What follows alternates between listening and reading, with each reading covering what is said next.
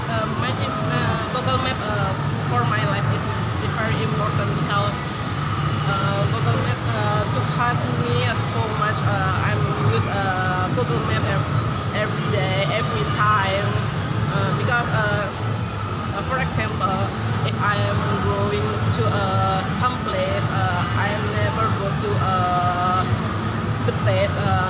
so I need um, I need to use Google Map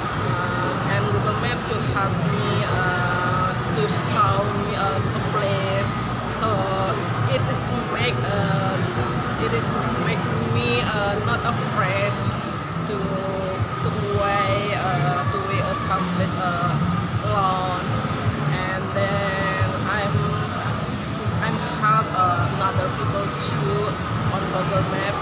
Uh, I'm give a recommendation uh, someplace uh, for example I give a recommendation uh, to people.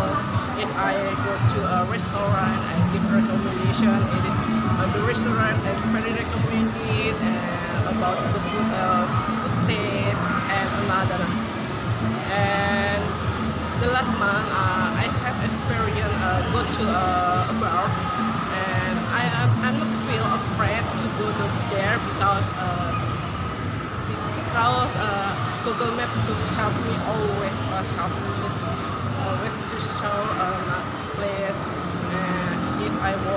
to a million park. Google Map uh, to always tell me uh, the way every way and I can I can arrive in a million park. Okay thank you.